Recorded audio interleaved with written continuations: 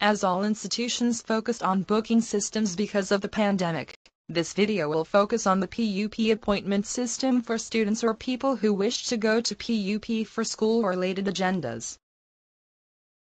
The website is easy to use. On going to the PUP online appointment system website, you need to choose if you're a student, a client, or a college administrator. In this demonstration we will go with the PUP student. Input your student ID, birth month, birthday, birth year and your password. Then sign in.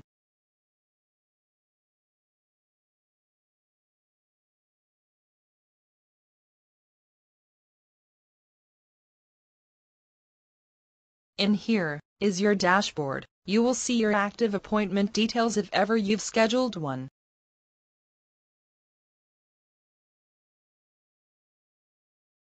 On the left side, you will see your appointment history.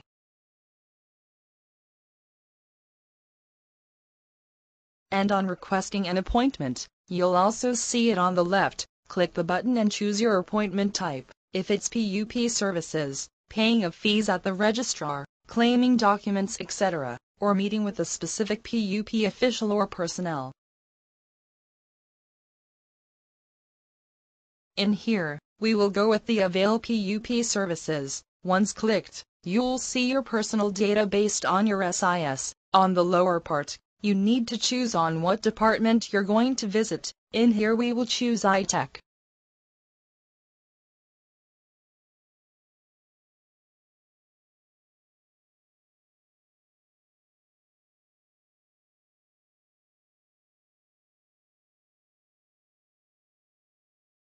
Choose the service or the agenda of your visit. There will be choices there so choose which is appropriate.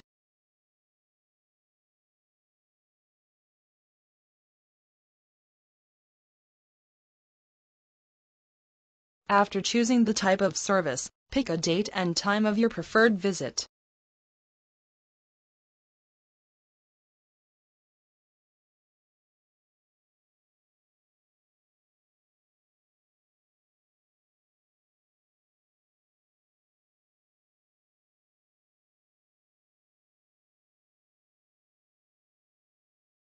After double-checking the data that you've entered, you will proceed to your dashboard to see the status of your appointment, whether it's pending, approved, or declined.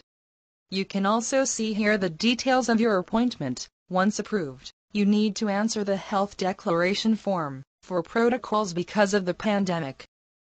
Just answer honestly the health declaration form, and then the gate pass will be available for you to present it to the guard present on going to the campus. Here is a sample gate pass with the needed information of the client.